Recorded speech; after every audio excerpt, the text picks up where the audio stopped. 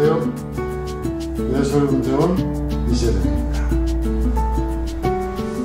오늘 6월 30일인데 제가 깜짝 놀랐어요. 제가 5시 정도에 퇴근을 하는데 퇴근하면서 이렇게 차에 남긴 차에 이렇게 온도계가 나와 있잖아요.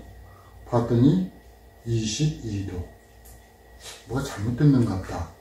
이 차로 늙으니까 헛소리를 하는구나 싶었는데 아 이게 강천산 말맹이를 딱 넘어오니까 19도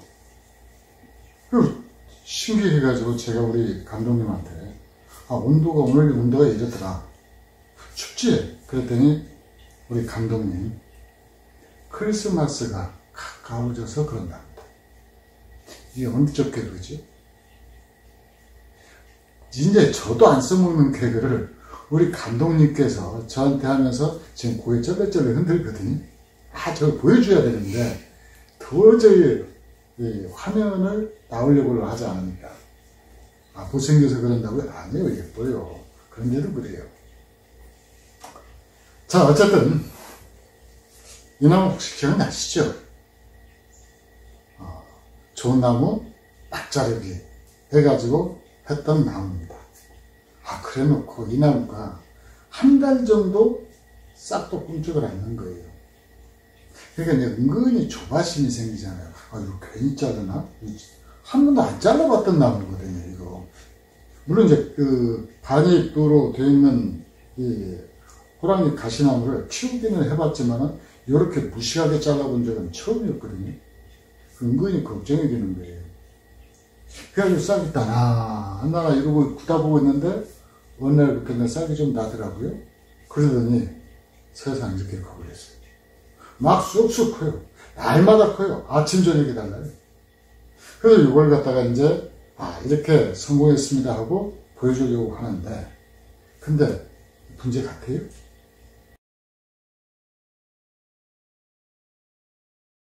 자, 그 화면 보셨죠? 그때 무선했던 거랑 이곳이 나 별로 차이가 없잖아요. 감독님, 그죠? 좀 이렇게 축소가 됐나? 키도 줄어들고 축소가 됐죠. 어, 그거 뒤에는 없어요. 그렇다라고 그러면 이것은 제대로 된 분재가 돼가고 있는 것인가? 과연 내가 원했던 부분에서 싹이 나오고 있는가? 이것들을 이제 한번 점검을 해봐야 될 시간이 됐다라는 얘기죠. 어쨌든 지금 그러면 이 시기에 우리가 해줄 수 있는 작업이 뭐냐 자, 이 나무는 작년에 분올림 해서 어, 1년 동안이지만 제가 세력을 급속도로 끌어올린 다음에 예, 그 다음에 무성해졌던 걸 갖다가 예, 가지를 축소해서 들어갔던 거죠. 그래서 좋은 나무 막 자르기는 좋은 나무를 막 자른 것이 아니고 좋은 나무로 만들려고 막 자란 나무죠. 그러니까 그 중간에서 생략된 말을 잘 감안을 하셔야 돼요. 이렇게 보니까 내 만, 제 생각대로 나와준 가지도 있고 안 나와준 가지도 있고 그럼 한 번 더 막 자를까요? 어때요 감독님? 한 번 더 막 자를까? 이제 자르지 마요? 아니 골라야지. 아 골르랍니다. 이 감독님이 역시 감독을 잘해요. 그래서 1차로 골라야 될 가지가 그러니까 뭐가 있는 거니? 이렇게 아래로 나와 있는 가지들이 있고요. 요 위에도 이렇게 촘촘히 난 가지들이 있고, 오, 이 올해 노린재가 이게 극성이에요. 그래서 이 요걸 갖다가 박멸을 하려고 제가 약을 뿌렸거든요. 스미치온이면은 요 노린재를 깔끔하게 잡는다. 아이고, 왜, 이 허리가 댕강 부러져 버리네. 그요 노린재, 노린재를 어, 잡으려고 이 스미치온을 갖다가 조금 이 진하게 해서 뿌렸는데, 아, 이게 안 죽어요. 감독님 왜 그런지 혹시 아세요? 그렇죠. 우리 감독님은 뭐 아는 게 있어야죠. 그냥 제가 좋아서 옆에다 그냥 같이 붙어 사는 거죠? 아니래요. 크게 얘기해 주실래요? 자, 왜 그러는 거니? 노린지한테 직접 약을 맞아야 되는데 우리가 오후 5시에서 6시, 7시 정도 그때 농약을 줬잖아요. 그때 주니까 노린재가 이런데 땅속에 흙속에 묻혀 있거나 화분 밑에 숨어 있어 가지고 약을 안 맞은 거예요. 자 이렇게 가지들이 이런 식으로 이렇게 나와줬죠. 이렇게 나와줬고 그 다음에 여기는 아주 이상적으로 잘 나와줬고 그 다음에 이제 원줄기인 여기도 지금 중간에서 하나가 나와줬으면 했는데 여기 안 나와줬거든요. 그러면 이 상태는 분울림한 직후 모습하고 크게 다를 바가 없죠. 그러겠죠? 다만 분울림 직후에서는 상품성을 위해서 가지를 길게 빼가지고 풍성하게 만들어줬다라고 그러면은 지금 단계는 이제 본격 분재로 만들어가기 위해서 마디 사이를 작게 만들, 만드는 그, 그 작업을 한번 했다라는 거고 또 하나는 이것이 아열대성이거든요. 이 아열대성이다라고 하는 얘기는 그때 우리가 자르는 시기가 조금 시간이 빨랐던 거예요. 그래서 자르고 나서 곧바로 싹이 안 나와가지고 무려 한 달 넘게 우리가 이거 언제 싹이 나오나 싹이 나오나 하고 들여다봤죠. 그래서 아열대성은 어느 정도 온도가 올라와야 싹이 낸다라는 거 이제 이번 기회에 알았어요. 그래서 이번 시간에는 이 나무 불필요한 순들을 제거를 하고 그 다음에 이제 나무 기본 틀을 잡아주는 작업을 진행을 할 겁니다. 그래서 필요하다라고 그러면 녹지거리도 할 거고요. 어, 그 다음에 예, 잘라냈던 부분을 다시 상처를 갖다 하는데 일단 요 부분 이 앞에 한번 부분 보세요. 원줄기를 갖다가 이걸로 키워가려고 했는데 이 앞부분에도 부정화가 이렇게 터나왔죠. 그러면 이 부정화를 이렇게 제거를 해주는 거예요. 이건 필요가 없는 부정화죠. 그러니까 나무하고 나무 사이의 간격을 유지하기 위해서 이걸 해주는데 이렇게 해주는 것을 오래 분올림한 나무는 하면 안 돼요. 물론 이제 지금쯤은 해도 되겠네요. 그런데 곧바로 한 뭐 5, 6월 달에 이 정도 순이 자라나면 곧바로 잘라 들어가는 작업은 안 되죠. 근데 이 나무는 작년에 분을내면서 이미 뿌리가 탄탄히 내린 나무기 때문에 지금 이 작업을 해줘도 되는 거죠. 그 다음에 이렇게 첫 번째로는 이렇게 원하지 않는 위치에서 난 가지들을 이렇게 잘라주는 거죠. 제일 밑으로 나온 가지, 예, 이런 가지들, 이런 가지들을 이렇게 잘라주는 거예요. 그 다음에 두 번째로는 위로 반듯하게 이 위에 날맹에서 나온 위에서 나온 요 가지도 이렇게 잘라주는 겁니다. 자, 이 가까이 한번 이렇게 보여주면은 요 가지가 났던 부분이 아, 요 부분인데 요 부분 요 안 부분인데 이것도 잘라주는 거예요. 그리고 안에서도 역시 요 가지는 아, 잠깐만요 돌려볼게요. 요 가지는 요 가지와 요 가지가 쌍립을 섰죠. 그래서 쌍립이다라는 말은 나란히 섰다라는 얘기죠. 이렇게 잘라주는 거고 이건 이제 옆으로 뻗을 가지예요. 그래서 이 가지 하나가 완성이 된 겁니다. 그런데 보면은 여기 한번 봐주세요. 여기를 보면은 우리가 여기서 자르면서 카토파스타 처리를 했는데 이 마지막 순이 안쪽에서 나왔죠. 안쪽에서 나왔을 경우에는 특단한 조치를 취해서 이 부분, 즉 이 가지가 나와 있는 부분에서 다시 잘라가지고 이걸 갖다가 이제 이 부분을 줄이는데 이 부분은 놔두면은 그냥 말라서 삭정이가 돼버려요. 그러니까 상체가 깔끔하게 아물게 하기 위해서는 이걸 갖다가 이렇게 잘라주는 거죠. 이, 이 부분을 사람들이 귀찮으니까 한 번 자르고 마는데 상체가 아물렀을 때 자연스럽게 되도록 여기를 매끈하게 잘라줘야 돼요. 여기를 저 같은 경우는 두 번, 세 번, 뭐 이번엔 한 다섯 번 정도 어, 이 호카이를 이용해서 잘랐는데 그렇게 잘라줘야 여기가 아, 깔끔하게 나중에 아물더라도 티가 잘 별로 안 나고 어, 이쁘게 되죠. 그 다음에 지금 자르면은 이 나무가 물을 뿜어서 올리기 때문에 이 바로 이 카토파스타를 붙여줘야 돼요. 그러지 않으면 물을 뿜어 올리면 이 카토 파스타를 붙여도 예, 흡착이 잘 안 돼요. 그래서 이렇게 해서 가지 하나를 갖다가 깔끔하게 이제 정리를 했고요. 자, 그 다음에 이 가지를 이제 어떤 가지가 어떤 가지가 도움이 될지 몰라서 가지들을 많이 남겨놨었는데 자 일단 여기는 분기점이니까 여기도 제거를 해주죠. 그리고 앞에서 보면은 요 가지하고 요 가지하고 요 가지하고 가지가 세 개가 쌍립이 섰어요. 그러니까 가지가 없을 때는 괜찮았는데 아 입이 없을 때는 괜찮았는데 입이 많이 나오니까 굉장히 여기가 조밀해 보이죠. 그래서 입이 났을 때를 생각을 하고 그 다음 이 나무는 계속 입을 사철 달고 있는 나무란 말이죠.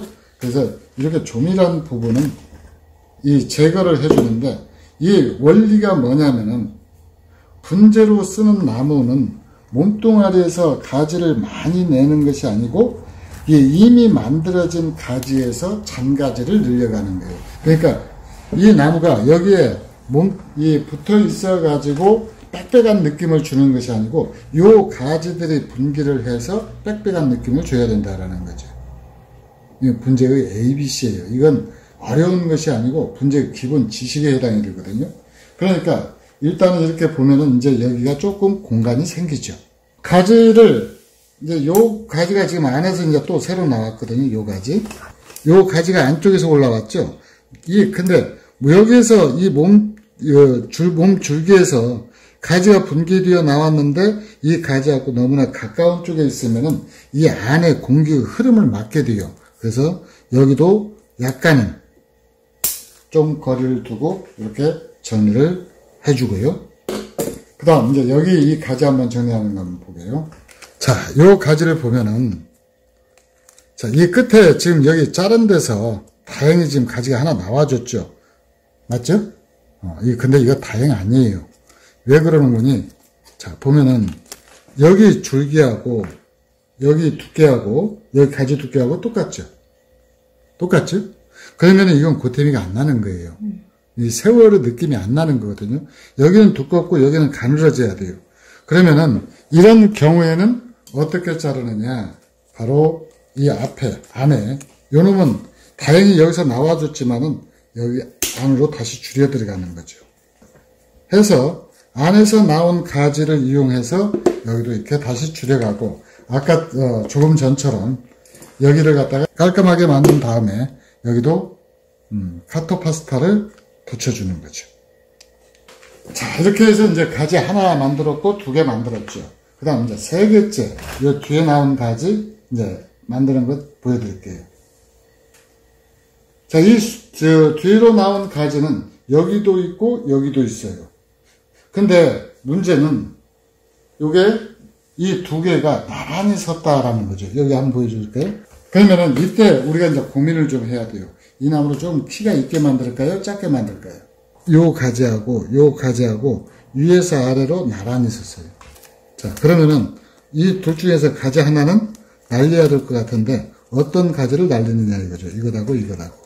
자, 그럴 때 여기는 가지가 지금 이쪽에 한쪽으로 또 하나 있거든요. 여기 있고 여기 있고 세 개, 네 개가 서 있죠. 그러니까 여기가 나중에 혹처럼 부푸니까 아깝더라도 이건 하나는 알려줘야 돼요. 눈물 안 나요? 이 중요한 가지가 날아갔는데 자, 요 가지를 날려놓고 그 다음에 이제 요 가지, 요 가지는 골고루 이렇게 잘 맞춘 듯이 잘 나와줬으니까 여기 카토파스타 붙인 부분만 다시 이제 잘라내고 이 새로 난 가지에 맞춰서 이거 잘라낼 때 저같이 이 노련한 숙련공도 이거 한꺼번에 안 자르거든요. 그러니까 새가 세 번 자르면은 여러분들은 다섯 번 정도 자르셔야 돼요. 그래서 조심조심 이 가지가 상하지 않도록 이 자른 다음에 또 이렇게 카토 파스타를 붙여줍니다. 그 다음에 이제 요건 이 이제 이 세 번째 가지까지 이제 다 끝났죠. 그 다음에 이제 네 번째 가지, 아, 이쪽, 이쪽이겠네요. 네 번째 가지가. 네 번째 가지 맞죠? 하나, 아, 여기도 요것 하나 제거해도 될 것 같아요. 시원하죠? 음. 그 다음에 이제 요 가지, 요 가지들을 보면은 이쪽에 보면은 요게 나와 있고 요게 나와 있어요. 근데 이게 거의 끝에 다 뭉쳐 있거든요. 골고루 안 나와주고 얘는 끝에 다 뭉쳐졌는데 일단 이렇게 위로 올라오는 가지를 하나를 갖다가 제거를 또 해요. 자, 이렇게 제거를 해서 이것도 끝. 그 다음에 이제 거기 건너서 여기 보면은 여기는 이 여기 여기서 여기까지 중간에서 좀 나와줬으면 좋았을 텐데 아 이게 잘라낼 걸 잘못했나 봐요 그때. 어. 근데 안 잘라내고 이 끝에가 가지가 갈라져 있으니까 요것에 현혹되어서 못 잘라냈는데 얘가 너 한번 골탕 먹어봐라 그러고는 이렇게 끝에서만 이 순을 내는 거죠. 음. 이 나무가 정화우세다라고 하는 거. 그러니까 이 정화, 그잘 끝에 나와 있는 가지들의 햇볕을 어떻게든 조금이라도 더 받으려고 이 가지 끝으로 세력이 집중하다 보니까 이런 이제 참극이 일어나는 거죠. 음. 그래서 이렇게 이, 요 부분은 가지가 하나 살았었던가요? 음. 자 이렇게 해서 여기도 쌍강도 만들어 놓는데 얘가 만약에 이제 세력이 급격히 올라가면은 안에서 또 나올 수가 있는데 그때는 다시 또 안에서 잘라야 되거든요. 그러니까 이게 이중이래요. 얘가 잘 어, 예술적이가 일꾼이 상무신 일을 잘 못한 거죠. 이런 경우는 쫓아내야 돼요. 그죠? 아, 대답을 못 합니다. 이, 제, 저를 쫓아내면은, 이, 뭐라 그럴까. 우리 감독님이 일을 다 해야 되니까. 그래서 이런 경우가 이제 갑을 관계가 뒤바뀌었다라고 얘기를 하죠.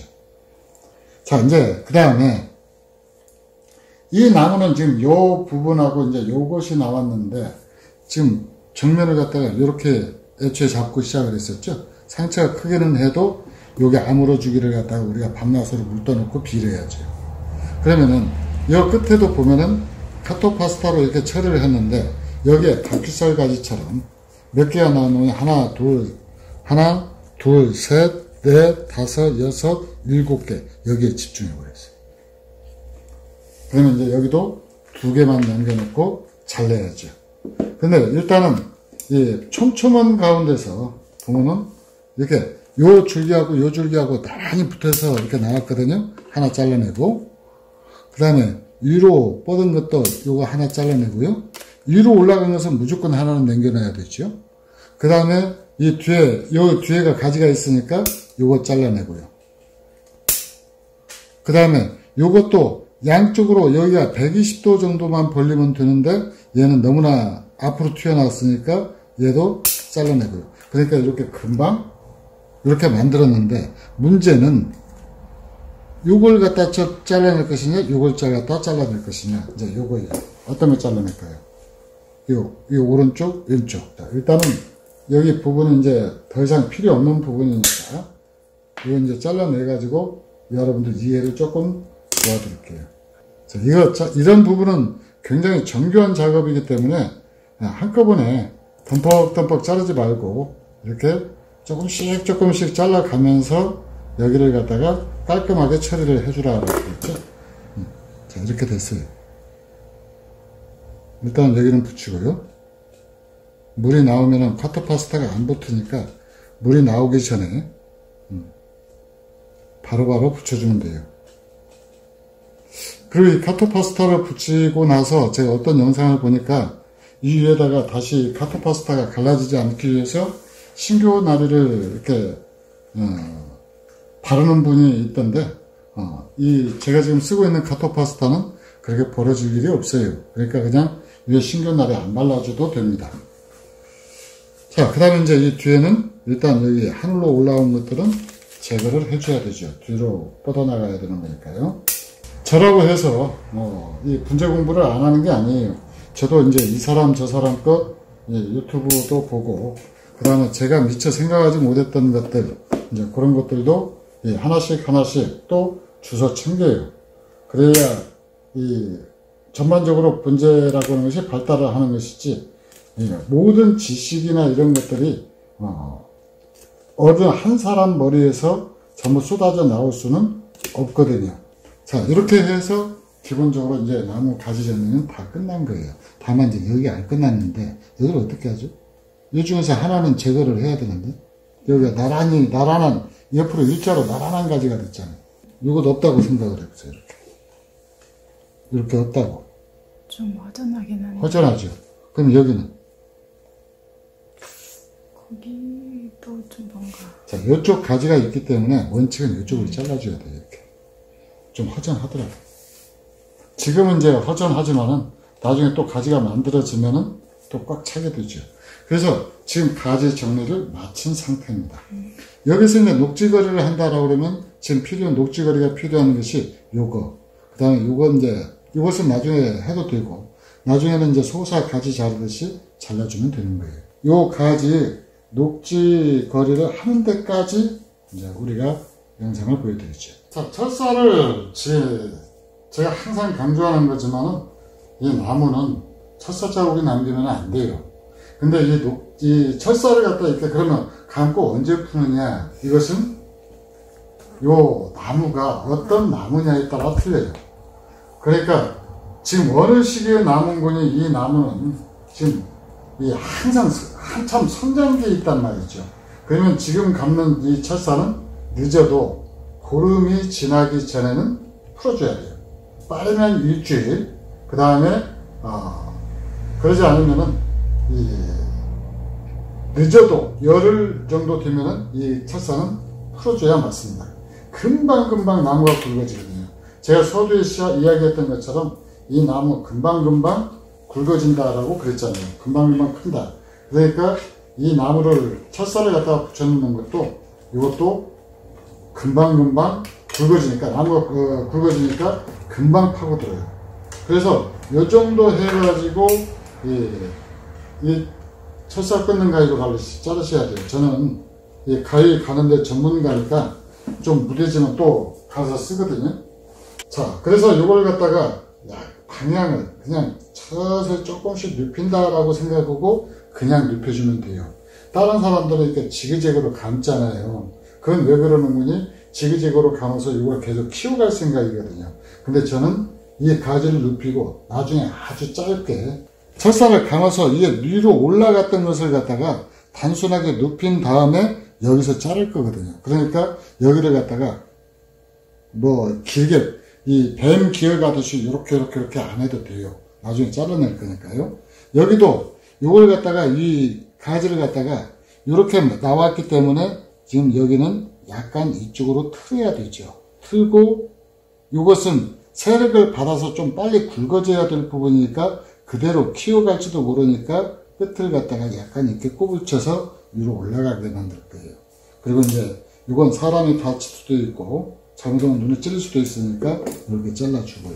그래서 요 가지는 이제 여기서 입이 가지가 나오면은 이쪽에서 가지 하나를 이쪽에서나 이쪽 정도 되겠네요. 여기서 이제 가지를 받아내면서 나무 균형을 만들어가는 거죠. 지금은 비어있지만은 비어있어도 비어있는 게 아닙니다. 자, 제가 인사를 하려고 그랬더니 우리 감독님이 또 브레이크를 걸었어요. 이제 브레이크도 걸어요. 저보고 요 가지 어떻게 할 겁니까?